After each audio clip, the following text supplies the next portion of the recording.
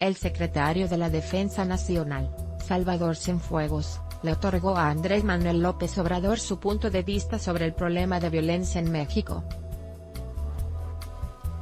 Como parte de la transición, el presidente electo finalmente se reunió con el general tal como lo había previsto desde el inicio de su campaña. Entérate, Peña Nieto revela lo que le espera al dejar la presidencia AMLO me reuní con el general de división Salvador Cienfuegos, me dio sus puntos de vista sobre el grave problema de la violencia y las alternativas.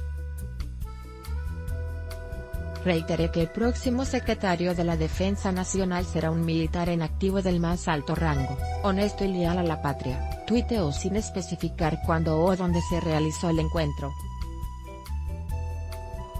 Cabe recordar que durante su encuentro con el presidente constitucional Enrique Peña Nieto el pasado lunes, López Obrador externó que los próximos titulares de la Defensa Nacional y Marina serán seleccionados entre generales de división y almirantes en activo. Ahora lee, reforma educativa se cancelará, reitera ANLO ante Peña Nieto además ya tendría perfilada la ruta para nombrar a los mandos del Ejército y Armada de México, la cual dijo en esa ocasión que sería a través de una consulta directa a los actuales titulares de la Defensa Nacional y Marina, Salvador Cienfuegos, y Vidal Francisco Soberón, respectivamente.